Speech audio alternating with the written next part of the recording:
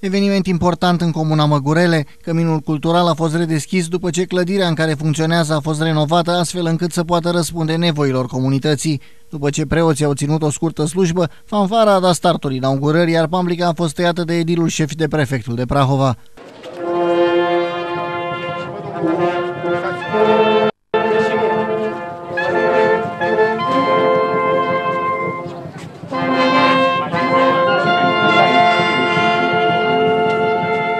După ce toate camerele așezământului au fost sfințite, primarul Comunei Măgurele s-a adresat celor prezenți. Am început această lucrare acum un an și jumătate cu ajutorul prefecturii și a Consiliului Județean.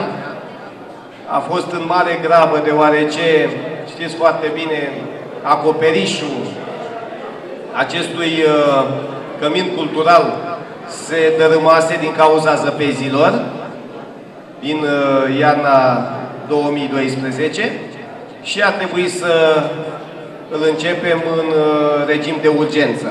Aici am avut sprijinul prefecturii în totalitate și a Consiliului Județean. Aportul primăriei locale la realizarea reabilitării căminului cultural a fost de doar 10%, restul sumei fiind asigurat din parteneriate cu autoritățile județene. În fiecare an se încearcă să se facă câte ceva, da? Poate că nu putem să le facem pe toate dintr-o dată. Este ca într-o familie și există o politică a pașilor mărunți. Dar faptul că în fiecare an se vede câte ceva este un lucru bun. Inaugurarea Căminului Cultural a avut loc în cadrul zilelor Comunei Măgurele, manifestare aflată în acest an la a doua ediție.